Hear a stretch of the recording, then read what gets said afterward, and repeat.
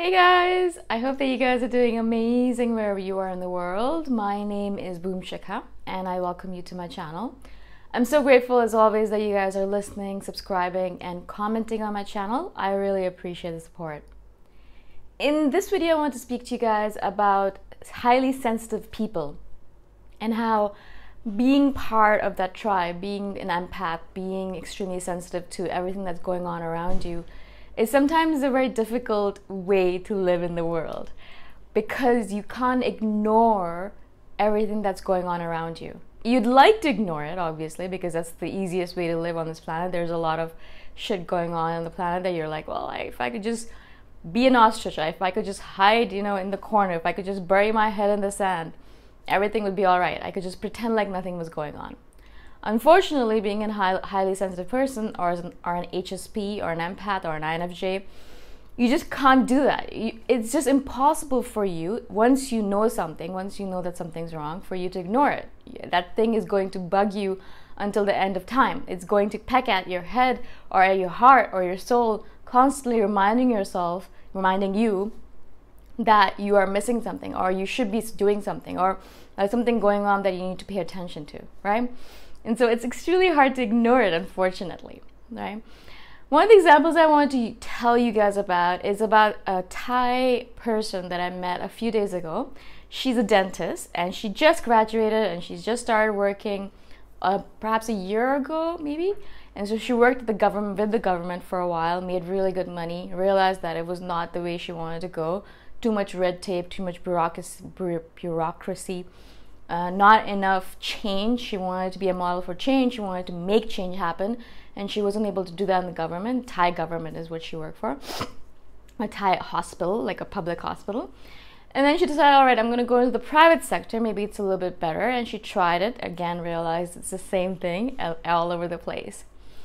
And so she was at the workshop with me, and it was a stress relief workshop. And she was talking about how every single day she gets up and she's just extremely stressed out by the fact that she has to work in this role, in this position where, yes, she makes a lot of money. Yes, she has a lot of status in Thai society. You know, she is able to garner all of this admiration for her because she's rich because of the because she has a potential to be extremely rich and she is rich right now but also because dentists, doctors, you know, professionals like that are given a lot of respect in the Thai culture. So she has a sort of status in the culture. You know, she's able to buy a car, she's able to buy a nice house or a, a nice condo, and things like that. And so all of that is something that push pushed her into this field. Obviously, you know, in the beginning she's like, "All right, cool. I guess I really don't know what I want to do with my life. There's no."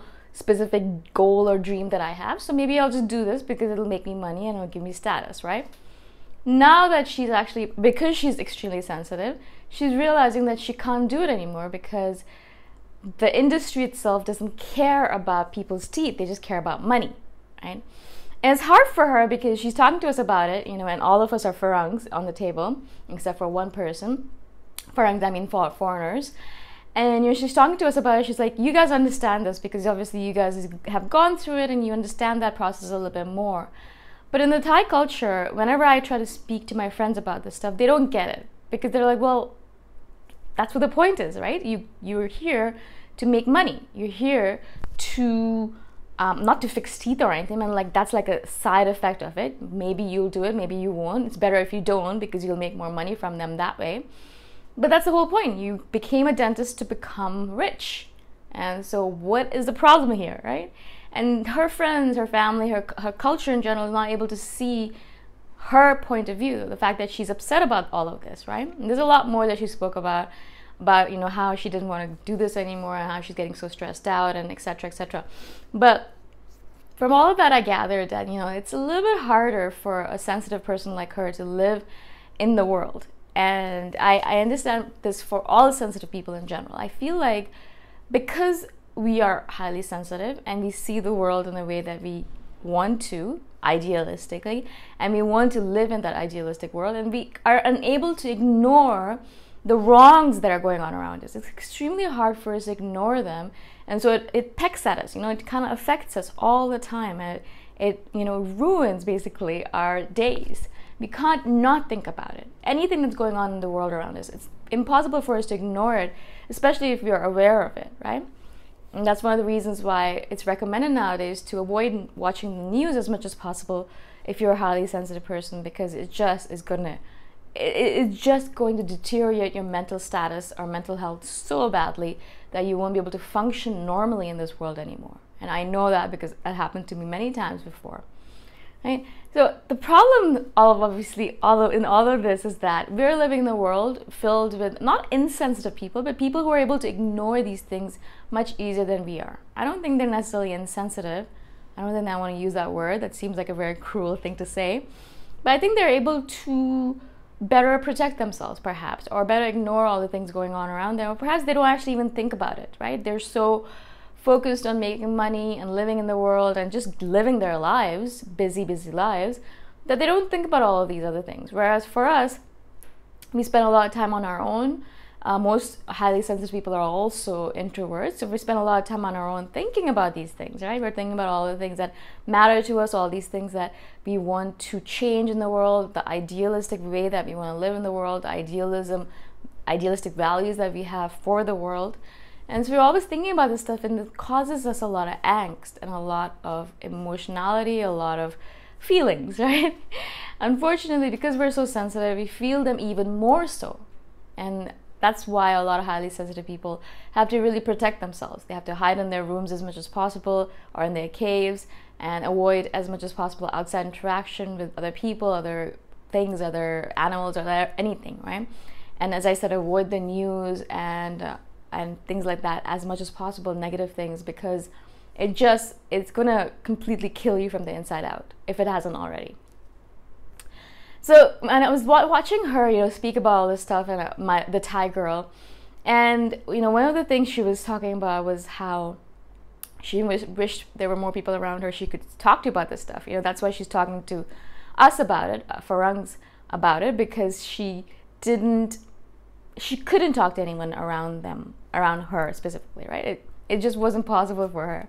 She couldn't do it because she didn't, they didn't understand her, obviously. And also, she didn't know the words to explain it to them.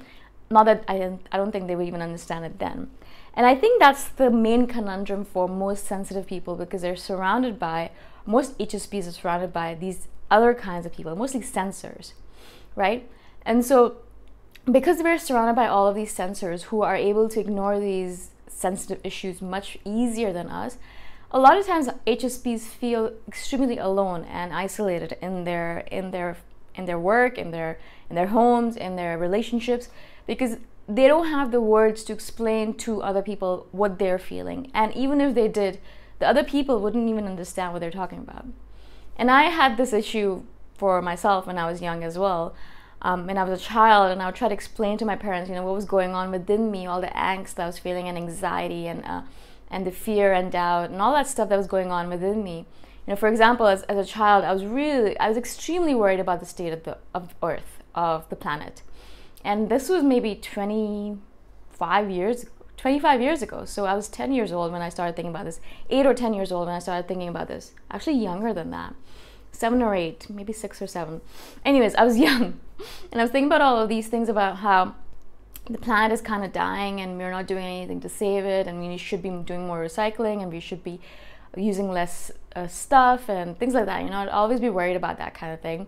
And I'd be talking to my parents, trying to talk to my parents about it, and they didn't understand what I was talking to them about and why I was so worried about it. They're like, you know, you're just a child, don't worry about this stuff or even like seeing abandoned animals on the side of the street like kittens or puppies that was very common.